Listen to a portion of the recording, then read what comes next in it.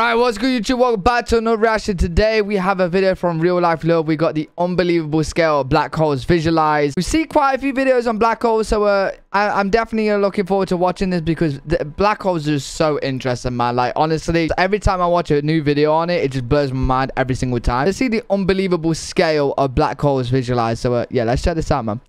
Black holes are one of the most bizarre things that we know of in the universe. Mm. Mathematically speaking, any object that has mass can become a black hole. That Mad. means that you, me, whatever you're watching this video on right now, and everything else can become a black hole if you crush it all into a small enough space. Wow. This space is called a Schwarzschild radius. If you condense all the matter of any object into its individual Schwarzschild radius, then the object will become so unimaginably dense that nothing can escape its gravitational pull, not even light. If you Bro, that makes so much sense when it's like put like hole, that. Then you would have to find a way to condense all of the matter that makes up your body into an area one sextillion times smaller than a grain of sand. But the larger the amount of mass that gets crushed down into a black hole, the stranger the effect can possibly be. Let's take a Boeing so 777 jet for instance. If somehow the jet suddenly transformed into a black hole, its entire mass would be compacted into an area with an unimaginably tiny radius of just 3.386 Bro, what even is that number? Minus 22 meters. What even is that number? for number? the smallest atom is a hydrogen atom, which uh, has a radius of just 10 to the power of minus 11 meters in size. This would be like uh, comparing the size of a human red blood cell to the entire island of Sicily, an incredible wow. difference in scale that's difficult to really wrap your head around.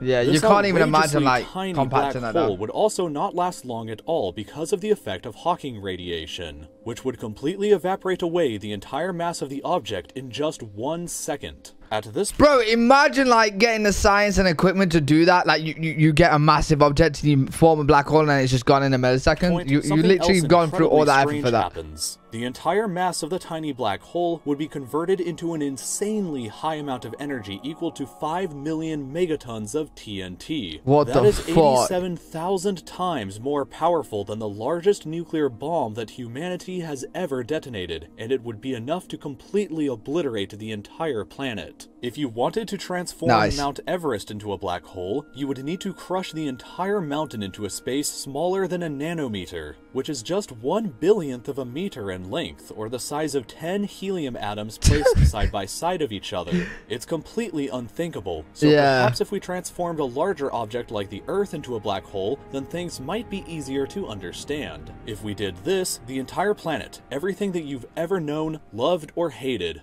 every person and everything. But there's no way how you can literally compact. Well, there is a way because black holes exist, but it's, it's just mind blowing. crushed into a space the size of just a single U.S. Oh my penny. god! If you replaced the Earth with this penny-sized black hole, nothing would change in our solar system.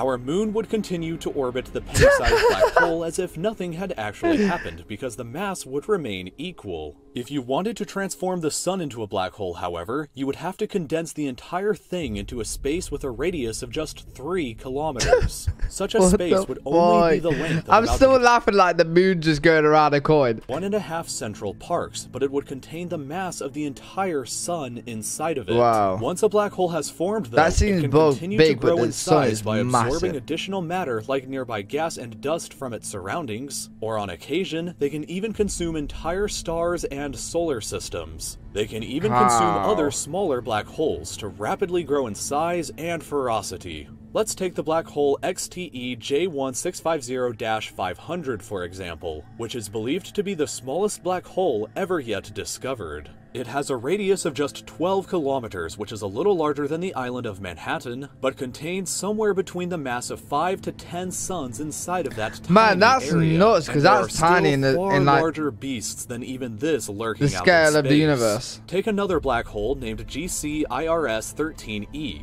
There are a number of questions surrounding this one's potential existence, but if it's real, then its size is roughly the same as the continent of Europe. All while containing the mass of 1,300 suns What inside of fuck? it. But even this is insanely tiny compared to a few more that are out there, like HLX-1, which is designated as an intermediate-sized black hole. It has a radius of 295,300 kilometers. picture's insane. So it's about as wide as four Jupiters placed side by side, but it contains the mind-boggling mass of 100,000 suns inside of it. Lurking in the center of the Milky Holy Way galaxy, shit. however, is a supermassive class black hole known as Sagittarius A. It has a huge radius Yeah, we've of heard about this one. 12,700,000 kilometers, about 5% of the distance between Earth and Venus. But this monster contains the ridiculous mass of 4,300,000 suns inside of that area.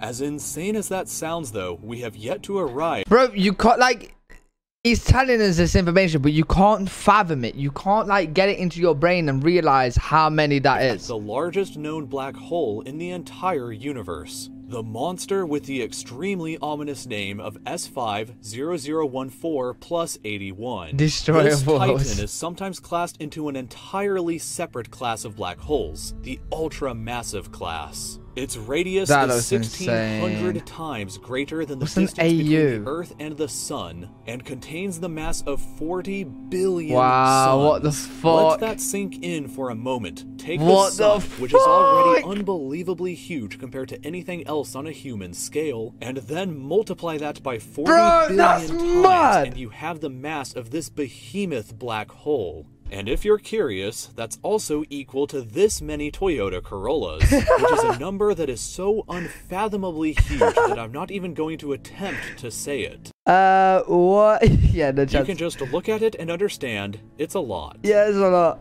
So this It's video was made possible Wow, really, really good video. Enjoyed that one. I actually love these space videos. If you guys got any cool space videos you want me to check out, just leave them down in the comment section below. But really good video. Hopefully you guys did enjoy too. If you did, make sure you thumbs up, subscribe, and I'll see you all in the next video.